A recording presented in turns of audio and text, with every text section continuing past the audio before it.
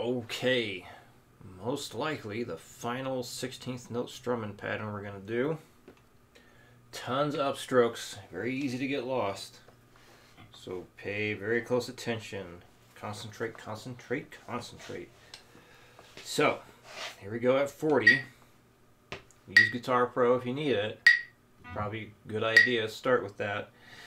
Uh, here we go. One E and a uh, two E and 3E and a 4E and a 1E and a 2E and a 3E and a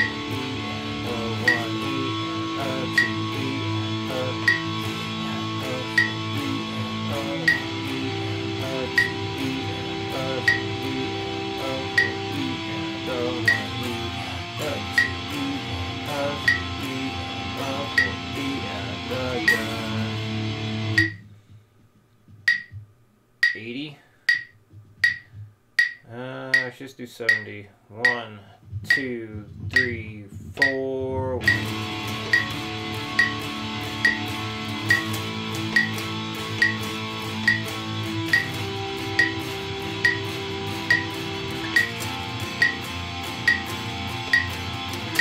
Wrong chord at the end.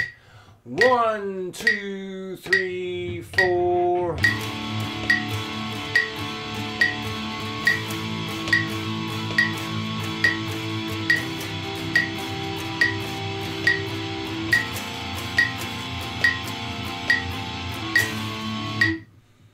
Hundred.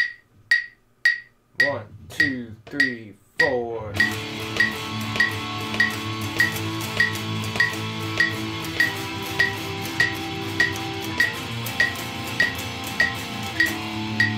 Again. One, two, three, four.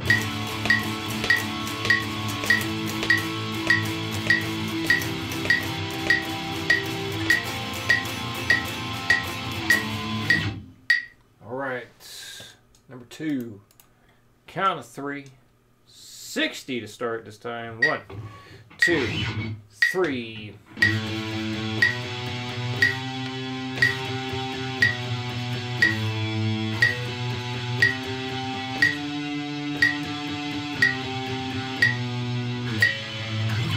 One twenty. One, two, three.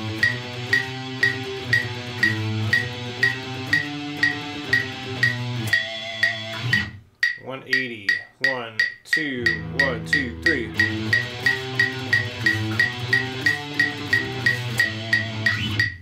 Two hundred. One, two, one, two, three.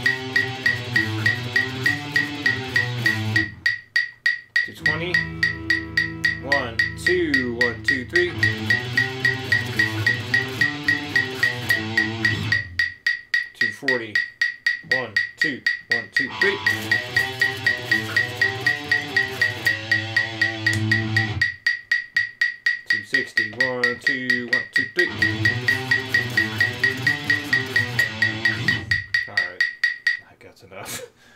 Uh, let's see if you get this to 200 before next week. Send the video as soon as you got that. And for the chord theory, so moving forward with the suspended chords. So learn these shapes, or like play each bar a few times.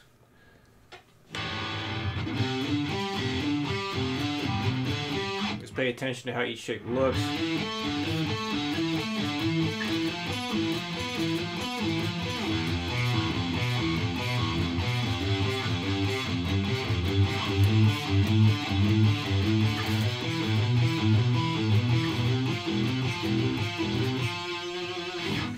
And then you're going to follow the Roman numerals and write all these again, starting on the A string, and then do the same thing starting on the D string, the G string, and the B string.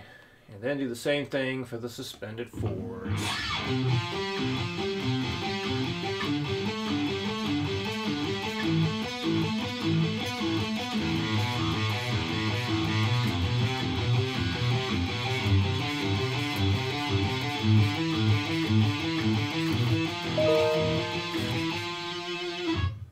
Like that. I should have turned my speaker down. Right at the last arpeggio. All right. Um, but yeah, get comfortable with those, and then start moving them all up string by string by string. All right. Any questions come up? Let me know. I'll see you next week.